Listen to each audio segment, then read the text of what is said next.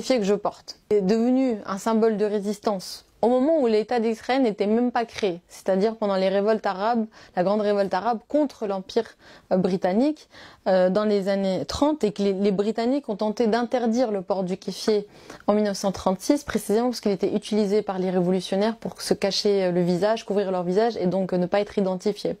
Et que ce sont les Palestiniens, le peuple palestinien, en signe de solidarité et notamment les Falahin, les plus pauvres, les Bédouins, les paysans, qui ont demandé à tous les Palestiniens de porter le kéfier et que c'est devenu un symbole national de la résistance palestinienne et que ça a permis aussi de brouiller les pistes puisque les Britanniques n'arrivaient plus à savoir qui étaient les révolutionnaires,